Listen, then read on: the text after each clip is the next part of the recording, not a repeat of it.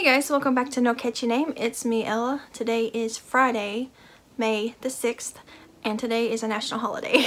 Can you guess what holiday it is? Um, I probably should have made this hat green, but I made it yellow because um, I like yellow better than green sometimes. I don't know. I don't know why I made it yellow. I just chose to. Anyways, today is National Space Day, so I thought it'd be fun for space to make an alien hat. so I made this alien hat. I didn't use a pattern. I just um, winged it. so this is just a double crochet beanie. I started up here with 10 double crochets and then I increased, I increased a little too big for my head. It's a little loose, but that's okay. I think I increased to 70 and then I made a few rows just straight to make it the length that I wanted it. And then these little things up here, um, I just started with a circle and I increased I think to 18 and then I did a couple rows of 18 and then I decreased back down to 6 and made a little length and then uh, sewed them on there. So I got like little an antennas, whatever. and then I also made amigurumi. So this was also supposed to be in green because alien and people always associate aliens with green little guys, you know. But I guess they can be any color if they were real. but uh, I made this one. Look at him. He's so cute. It's really bright. But this is called Allen the Alien and it's a free pattern by Ollie plus Holly. Um, and it's just so cute. This They're both made in Red Heart Super Saver bright yellow, the old bright yellow that is really bright. The new bright yellow is really dingy. Uh, this I used a I hook and uh, for these things I went down to I think an F hook. And then for him I used an 8, um, no I didn't. So this is a I 5.5. This I used an F hook which is a 3.75 and then I used 3.75 for him which is the F hook. But he's cute. He's got 20 millimeter safety eyes. I used some scrap yarn for his mouth and his cheeks. He's made in, let's see here, his two arms, his head and body are separate. That's four six pieces. Um, but I think he's cute as heck. He turned out so cute. I finished him up last night. You, he's got puff stitches as his little thumb so you can kind of see, you know, hand detail. He's like he's waving.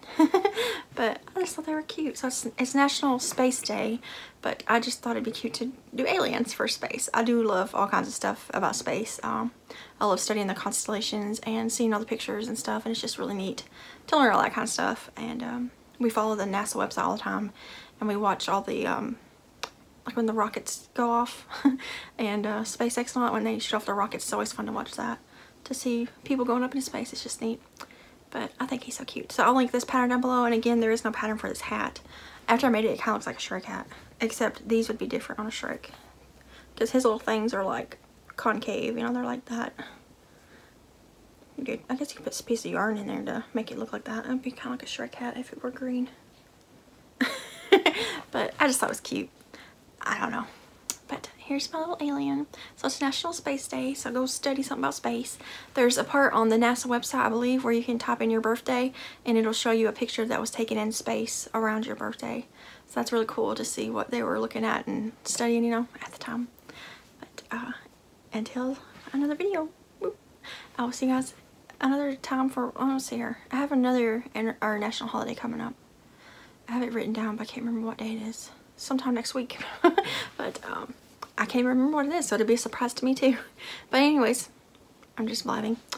I'll have him linked below if you want to check him out. He's a free pattern.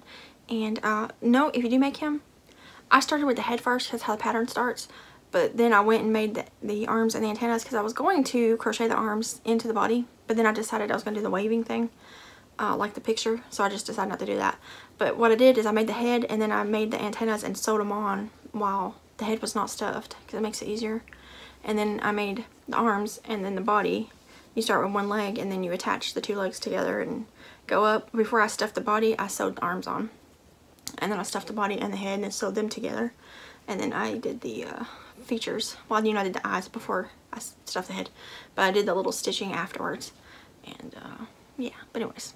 I always try to remember to make the little body parts first so I can put them on as easily as possible while I'm making the rest of amigurumi. Because I hate sewing stuff on. So if I can take shortcuts, I do that. But I like his little pointy feet. I think he's cute. but I'll probably put him on a shelf somewhere and just let him stay there. But uh, and I don't know when I'll ever wear this hat again, but I have alien hat if I ever need it. but anyways, I'm going to hop off here now. I'm going to record a Happy Mail video that I'm going to put out on Sunday because it's two birthday gifts that I got in the mail. So I wanted to share them with you guys. But I'm gonna do that real quick. So I'll be sitting here wearing my same shirt. This is a different day. I realized the videos I filmed earlier this week I had black shirts too, but it was different shirts. One was Britney Spears and one was my Star Wars shirt. And now this is a different shirt. I just happen to wear a lot of black shirts, I guess. But anyways, I'm gonna hop off here and I'll see you guys in another video. Bye guys.